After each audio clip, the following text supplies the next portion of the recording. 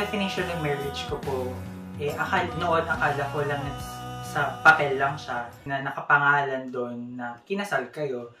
Kapag papakilala, oh, asawa ko, ganyan. Ganun lang yung parang nasa isipan ko noon.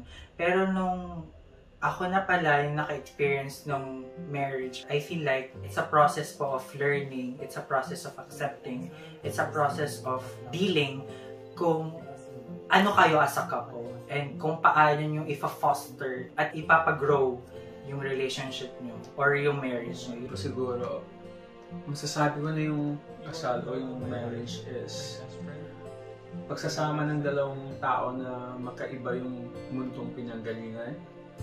Pero sabay na naglalakad as long as magkahawak kami ng kamay, as long as nagtitiwala siya sa akin, as long as minamahal niya ako, mag-work at mag-work at madaling maabot yung destinasyon kung magkasama, magkahawak, hanggang wakas. Yeah. Alam mo may sasalo sa'yo. At the same time, pag magkahawak tayo ng kamay, di ba? Pag holding hands tayo, so, mahulog ka man, hindi ka totally mahuhulog Ah, kasi yeah. hawak kita.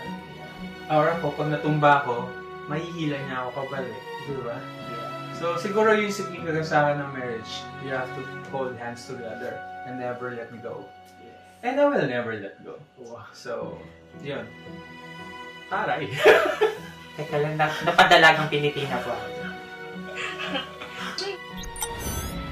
First experience ko sa Norway, hindi siya madali kasi lahat many first siya sa akin. Una, yung mapalayo sa family, mas lalo na close ako sa mami ko. Tsaka yung dalawa kong kapatid. Yung pangalawa doon is yung yung culture. Sobrang nakakapanibago kasi una, yung language barrier na okay, nag-English sila dito, pero mostly nagno-Norwegian sila or nagno-Norse. Tapos yung weather. Tapos yung weather din yung pangatlo kasi first time ko din maka-experience ng snow, yung autumn, lahat yung talagang nagne-negative din yung weather. Tsaka yung pangapat, yung buhay na kaming dalawa na lang. At first nangangapa talaga ako kasi hindi ko alam yung buhay na may asawa. Yung naging adjustment namin, syempre, ah, hindi ko siya kilala pa totally kasi Yeah. ilang years kami LDR nga. Yeah. So, nag-usap kami sa phone pero yung physically magkasama kami, yung ano ba, ah, sino ba magluluto or sino ba maglalaba Or sino mag or sino bang sino bang ah, um, In charge nito. maglilinis ng CR. Yeah. Parang ganun. So, parang kapaan kami. Parang, Oo. so, anong nangyari?